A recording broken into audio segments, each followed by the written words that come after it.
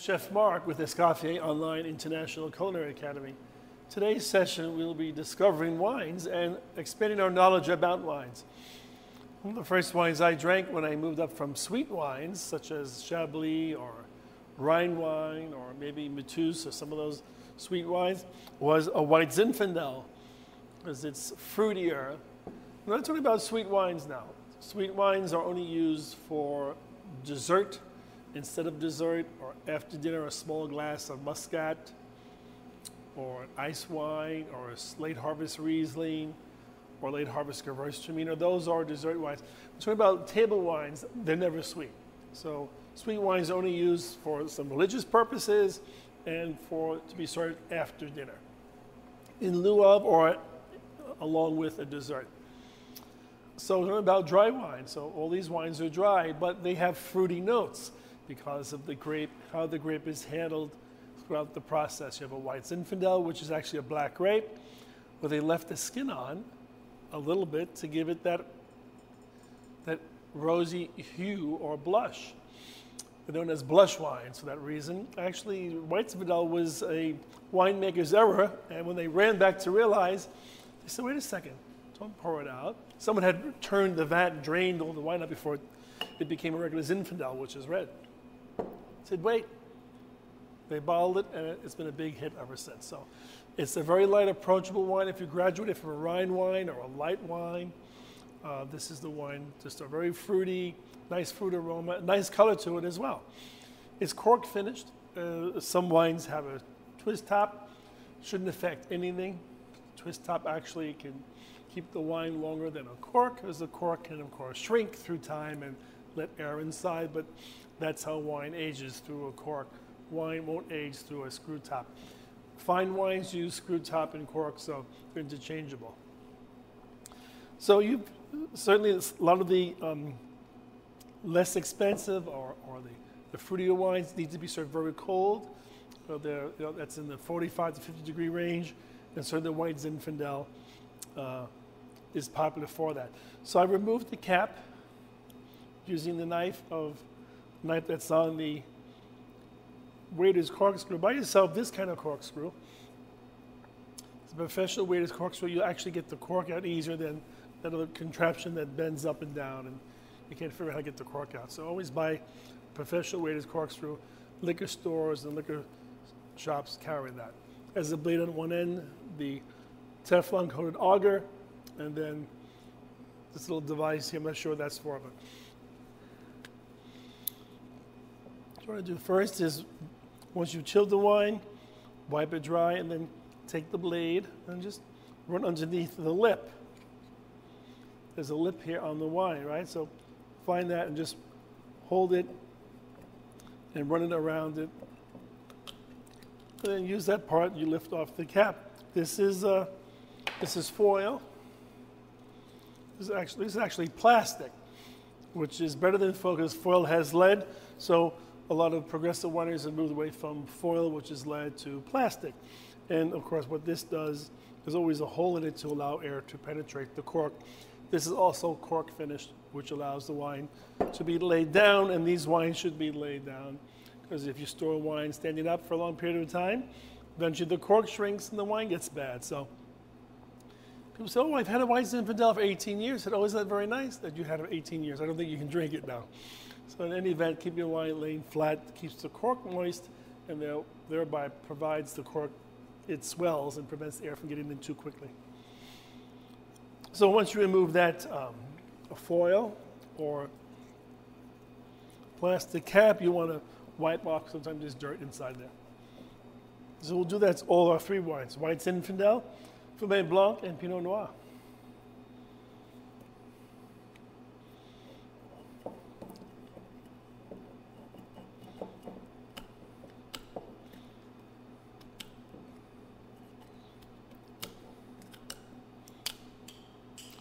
Popped right off. How you like that?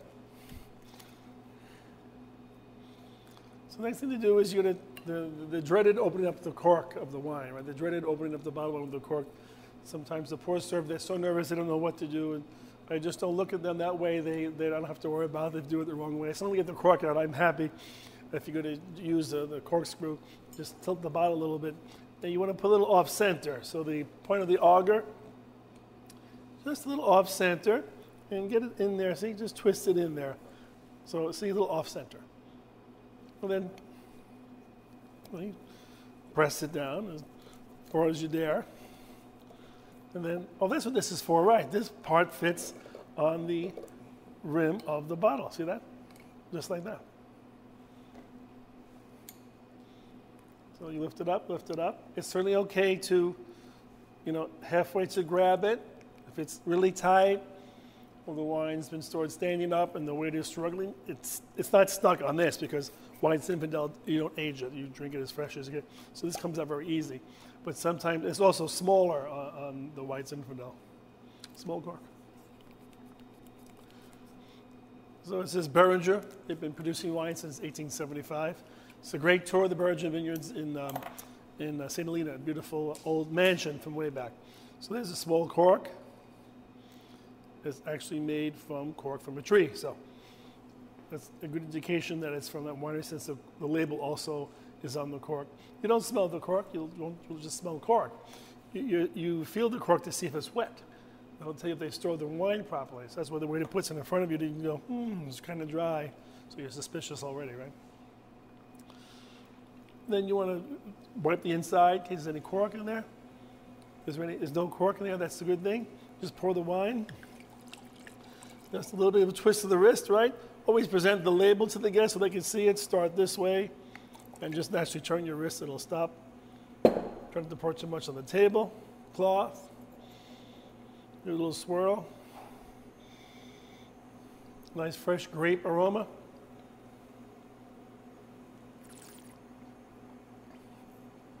Very fruity. Very nice wine, very light. Blood alcohol, 11% or less. It has a fruity texture, which is great. It doesn't have a, it isn't dry like a, a Cabernet, so it's very light. And it's a great wine to drink, like I said, if you're graduating, moving up from a, a white wine, a Rhine wine. A nice way to have a fruity wine. Great with put fruit, make a sangria with it, or drink it as it is. So that's very nice. The white Zinfandel. All right, now we're going to try Fumé Blanc. Fumé, the French word means to smoke. Uh, the story goes that Robert Mondavi, who founded Mondavi vineyards in 1966 and in St. Helena, saw the morning mist come in and the fumé smoke, and he said, oh, it would be great to call this great Fumé Blanc. And of course, it's been a big hit since 1966.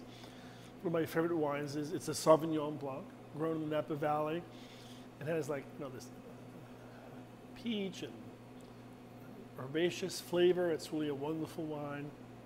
It's crisp. It's not as fruity as the white Zinfandel. It's dry, but it's fresh. It has lots of character.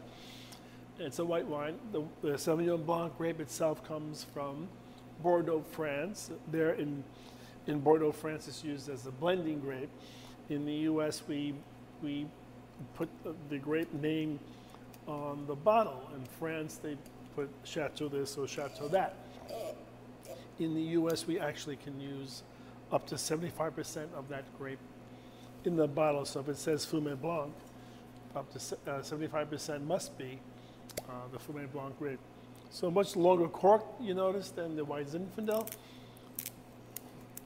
Because you can age a Sauvignon Blanc. Uh, it's uh, just such a beautiful, some pineapple in the nose, and it says a great taste. And uh, again, the cork is wetter than the white Zinfandel was, so they've actually stored it properly, and that's important. Put that down. And then, uh, as you know, we wipe the inside and pour some.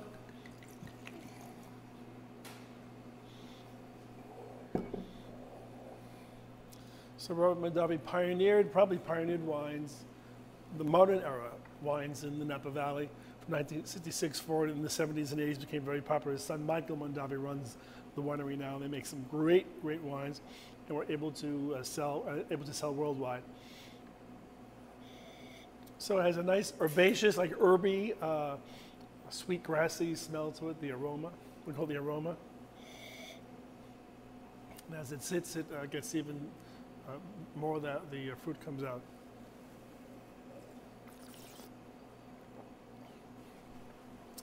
Nice wine, you want to judge the, the quality, the color of wine put against a white background will tell you the color of the wine. If you drink a white wine that's really an amber brown, it's probably spoiled. It happens to Chardonnay sometimes.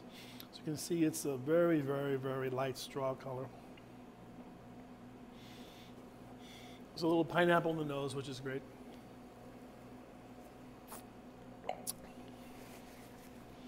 Great wine. It retails for about $20. Uh, the white Zinfandel retails for about uh, 8 or $9. So white, um, so the Fumé Blanc, great wine is dry, of course. These are all dry wines. Great with salmon. I've had this with pork chops. I've had this with, uh, with you know, with chicken. It's great with salad. It's the wine you love, uh, Mondavi Sauvignon Blanc. Great, great uh, benchmark in the Sauvignon Blanc uh, world. Our next wine is a Pinot Noir. It's uh, classically in a burgundy-shaped bottle, different than the uh, Bordeaux-shaped bottle. So sloping shoulders denotes uh, a wine that is from Bourgogne, France, Burgundy. Uh, the Pinot Noir grape, black grape from that part of France uh, actually now grown in Argentina, New Zealand, Australia, Chile, and of course California. What's nice about Pinot Noir, it's a little softer than Cabernet Sauvignon, which is a little more tannic and harsher. Pinot Noirs are softer, and therefore people enjoy that when they make the break from a white wine. They say, well, I want to try a red wine. Try a Pinot Noir, since a Cabernet will really knock your socks off. Uh, the Pinot Noir will be a little softer, and it's mellower. This is um, La Crema, one of the best producers of Pinot. It's in Sonoma County, which is a little different than Napa Valley or Napa County. It's cooler up there in the Santa Rosa, Healdsburg, Russian River area. So since it's cooler, the Pinot Noir grapes like a little cooler weather. That evening fog that rolls in. So always grab the cork here in case you want, you want to snap it. And also a long cork, uh, cork finished.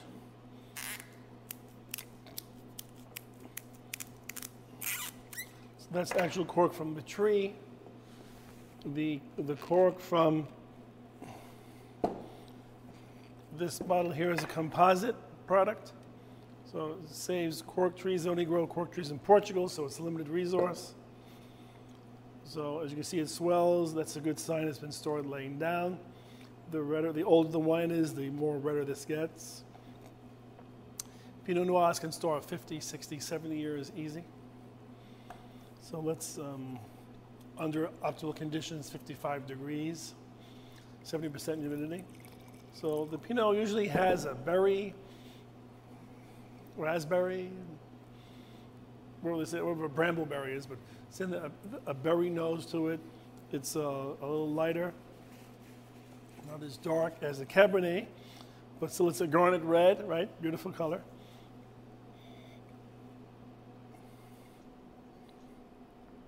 When you first uh, open up the wine, it'll taste different an hour later.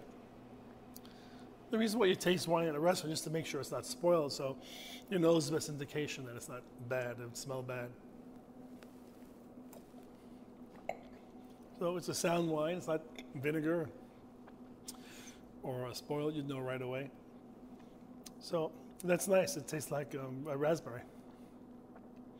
But it's dry again, it's a great wine. Pinot Noirs are very light, you don't want to drink them too cold. Um, they're pleasant with pork chops uh, and you know a veal dish. They go great with that. It's lighter wine. Some people like the Cabernet, the, the heavy hitting Cabernet. I like the Pinots because they're lighter, they're softer, not as tannic. Uh, they're they're not as heavy as the Cabernets, but they have the lighter fruit in the berry area. Uh, I think you like it. Uh, I think you'll enjoy this wine. It's the La Crema Pinot Noir. Enjoy. Well, thank you for joining us today for our wine knowledge session, and we'd like you to subscribe for further videos and updates on this subject, and we'll see you next time. Thank you for joining us today.